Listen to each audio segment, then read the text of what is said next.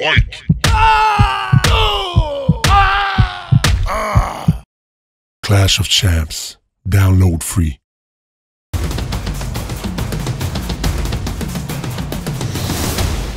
Errol Spence Jr. a lot of praise. Have you got a chance to check out the Olympian Errol Spence Jr. in your gym? Uh, no, I haven't. I mean, I haven't. I haven't. Uh, I've seen Errol Spence Jr. in the gym, but I wasn't never paying him any attention. So I don't really know what it is to him. My my son just my son just he just told me.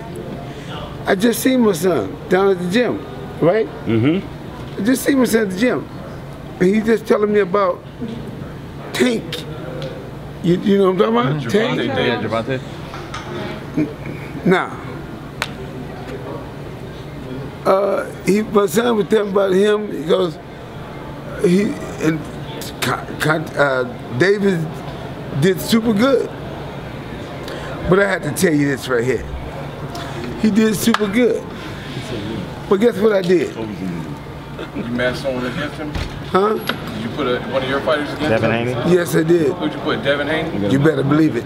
How did that go? How did it go? Man, that don't even ask the question. it, it, ain't, it, ain't, it ain't even worth asking because it was a one-way deal. It only one man controlled it, and that was Devin Haney.